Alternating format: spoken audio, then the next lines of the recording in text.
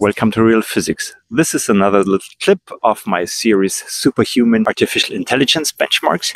And today I'll talk about the proton electron mass ratio, which is a mysterious number as the fine structure constant is I talked about in my last video. And you might even suspect is this number somehow related to the fine structure constant? So the thing you could do is find whatever mathematical formula going to the list of mathematical constants and find some number that relates the fine structure constant to the electron proton mass ratio. That would be, of course, stunning, but maybe a little bit less if you don't have calculated the fine structure constant before. And of course, you can try to calculate this mass ratio directly, but I don't think it will be done in isolation from this other very important number. And well, a couple of historical remarks. There was Einstein in 1930 who said, who had a dream of a unified theory, but remarked in the end, I hope this equation will lead to the calculation of the electron and the proton masses. And of course, there was Paul Dirac who pondered big part of his life about this number.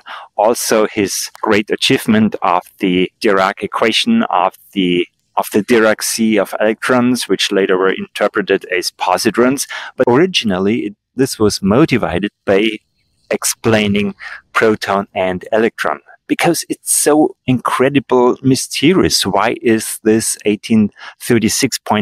1836.15 and not 2000 and not 300 and whatever number?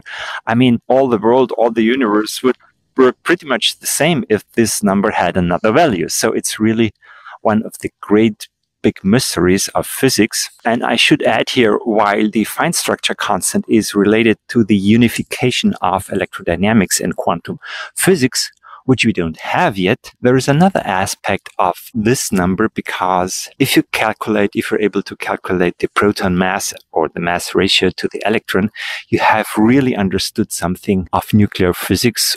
What's the essence of this? I wouldn't call it interaction, but the, the, the mass of the particles, which you cannot calculate from just electromagnetism in this case. And I would like to remind you from a quote of Niels Bohr, one of the founding fathers of quantum mechanics, who noted that he thinks that for properly understanding nuclear physics, a similar revolution than quantum mechanics is needed. And obviously, we didn't have that. We had the revolution of quantum mechanics started by Max Planck in 1900, and if you like, finished by Heisenberg, Schrödinger, and Dirac, and the spin discovery in the 1920s, but we didn't have a similar revolution of understanding of the nucleus. So this is an important question. I think underestimated, swept under the rug by contemporary physics. And I expect that well, if we make progress, it could be that artificial intelligence helps us someday. And certainly it would be one of the yeah, proofs that artificial intelligence has become superhuman if it's capable to calculate that mysterious number. If you want to dig more deeply into the discussion about fundamental constants, what we need to discover, and how physics somehow went astray in the past century, consider my books. I'm also happy to send you a PDF for free if you email me.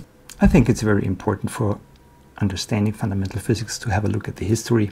Anyway, if you enjoyed the video, don't forget to like it. And if you're interested in fundamental physics, subscribe to this channel.